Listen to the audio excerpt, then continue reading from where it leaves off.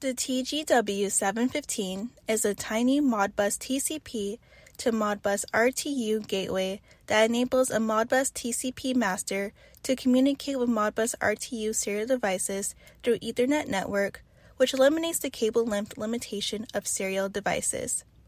It can be used to create a pair connection application, serial bridge, or serial tunnel application. It can route data over TCP IP between two Modbus RTU serial devices, which is useful when connecting mainframe PCs, servers, or serial devices that communicate over Modbus RTU protocols but do not have Ethernet capability. This gateway supports DHCP client function, which minimizes configuration errors caused by manual IP address configuration, such as assigning an IP address to more than one computer or device at the same time. It also features a UDP responder that transmits its IP address information in response to a UDP search from the eSearch utility, which provides a more efficient way for local management. The TGW715 has a powerful 32 bit microcontroller for efficient handling of network traffic.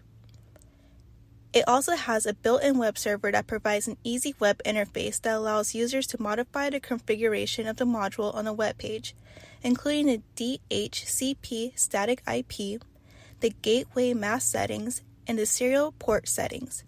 No programming skills are needed, and configuration is easy. It is equipped with a dual watchdog, one CPU watchdog for hardware functions and a host watchdog for software functions. The dual watchdog is an important feature that ensures the reliability of the Modbus gateway even under harsh environments.